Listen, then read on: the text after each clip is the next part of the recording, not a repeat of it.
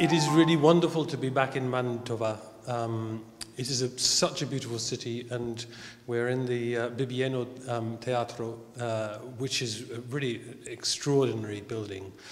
Um, I'm delighted to be here because I love Mantova, but also because uh, in this year it is very, very special to be able to put on a festival like this and to sing once again to a live audience.